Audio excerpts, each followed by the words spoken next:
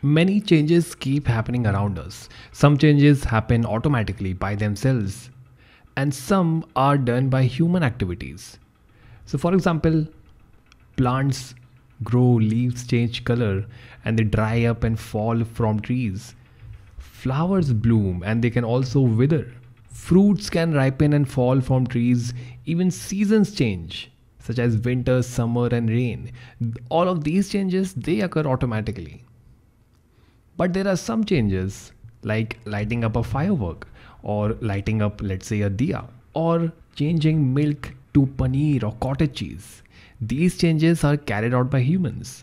But there is one thing common in all of these examples. There is a change either in the color, shape, smell, and in some changes like melting of ice, there is even a change of state of some objects. So we can say that any change in the state, shape, color, taste, or smell of an object is called a change. And in this video we will look at one type of change. So let's let's let's look into that. Let's say we have milk to begin with and we're in the process of making curd. So we have two ways to do that. We can either we can either add some curd or or we can add lemon.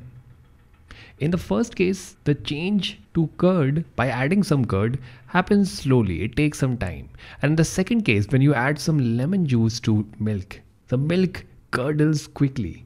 So when a change takes long time to complete, it is said to be slow. And when a change happens quickly, it is said to be a quick change. Quick changes take less time to complete. They, they happen at a faster rate. Let's look at some more examples of these type of changes. Okay, I'm going to show you some changes and I want you to take some time and try and categorize which change could be a slow change and, and which change could be fast. So there you go. The first one is burning a matchstick. The second is popping up an inflated balloon. The third is growth of nails. And the fourth is rusting of iron. Take 5 seconds and categorize these 4 changes under slow and fast or quick.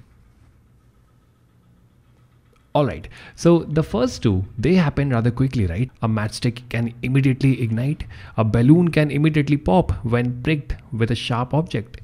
But it takes time for human nails to grow and it takes a lot of time for an object to rust. So these two are, are slow changes and these two are fast or quick changes.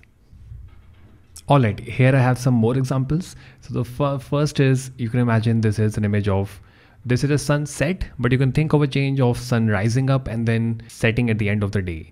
The second is melting of ice. This is drying of clothes on a hot summer day. And these are fireworks. Again, think about which of these changes could be slow or fast.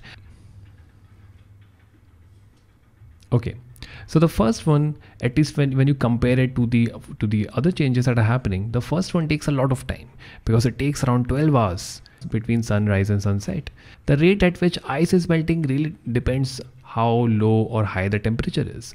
At, in higher temperatures, ice melts really quickly. It's a fast change. But if the temperature is really low, it will take it will take a lot of time for ice to melt. And then drying up of clothes. This is also not a very quick process because it takes some time for the clothes to dry up. Fireworks, this is a very fast process. Immediately when you ignite a firework, it, it goes off and bursts. Okay, so some changes can be categorized as slow, some can be categorized as fast. But there is no hard and fast rule if a process is slow or a fast. You can only measure the slowness and how fast a change is relative to something else. So you can only say that change A is slow or fast when you compare it with some other change.